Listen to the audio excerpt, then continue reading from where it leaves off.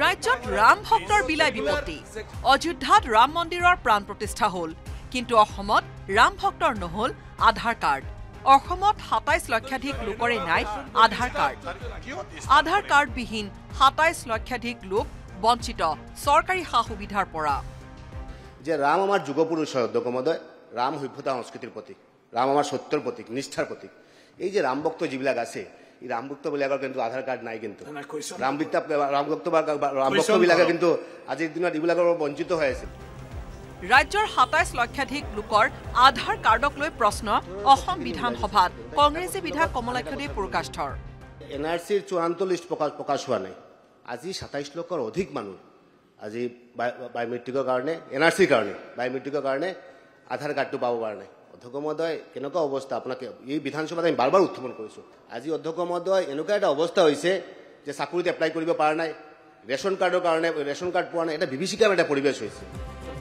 কংগ্ৰেছী বিধায়ক কমলাক্ষদেৱ পুৰকাষ্ঠৰ প্ৰশ্নত মুখ্যমন্ত্ৰীৰ উত্তৰ ৰাম ভক্তৰ সমস্যা সমাধান কৰা হ'ব। ৰাম ভক্তক দিয়া হ'ব আধাৰ কাৰ্ড।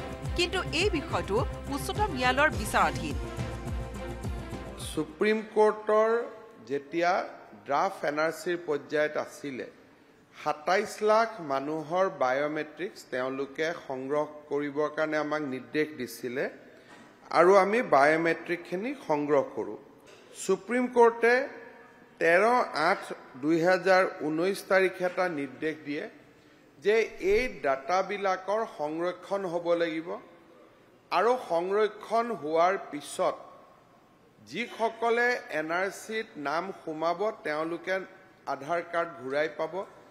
যিসকলৰ নাম সোমোৱা নাই তেওঁলোকে ট্ৰিবুনেলৰ জাজমেণ্টৰ পিছত আধাৰ কাৰ্ডসমূহ পাব।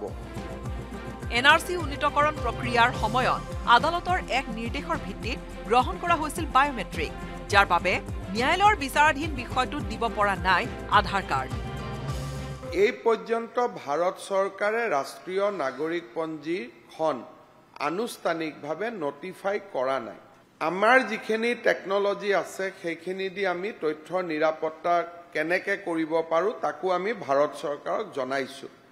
দুইটা বিষয় ভাৰত চৰকাৰৰ বিবেচনাধীন হৈ আছে। পিছে ৰাম ভক্তৰ আধাৰ কাৰ্ডক লৈ সদনৰ মজিয়াত চৰ্চা চলাৰ সময়তে সৰব এ আই ডি এফৰ বিধায়ক জাকিৰ হুছেইন লস্কৰ। তেওঁৰ প্ৰশ্ন সাতাইছ লাখৰ সকলোৱে ৰাম ভক্ত নহয়। ৰাম ভক্তৰ লগত আছে ৰাম ৰহিম যীশু ভক্তও।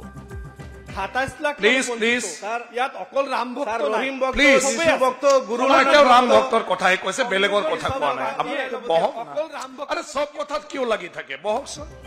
এ আই ইউ ডি এফৰ বিধায়কগৰাকীৰ এনে প্ৰশ্নৰ পিছতে মুখ্যমন্ত্ৰীৰ পুনৰ স্পষ্টীকৰণ।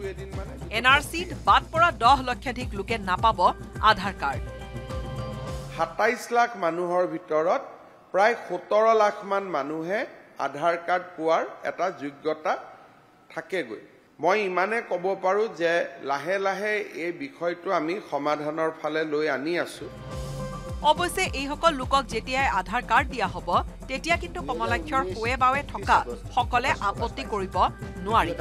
অৱশ্যে এইসকল লোকে পিছে কেতিয়ালৈ আধাৰ তৈয়াৰ কৰিব পাৰিব সেয়া কিন্তু স্পষ্ট নহল সদনত। ৰাম ভক্তসকলৰ কাৰণে চৰকাৰে কিবা কিবি কৰি আছে। সেই তাৰ ভিতৰতে আধাৰ কাৰ্ডো হৈ যাব। তেতিয়া যাতে আপোনাৰ ওচৰে পাজৰে বহি থকা মানুহখিনিয়ে ৰাম ভক্তক বিৰোধিতা নকৰে। কেমেৰা পাৰ্চন সঞ্জয় বৰা আৰু অঞ্জন ডেকাৰ সৈতে বলেন ভট্টাচাৰ্যৰ report News eighteen Assam North East. তেখেতে তেখেতৰ কথা কৈছিল আপোনালোকে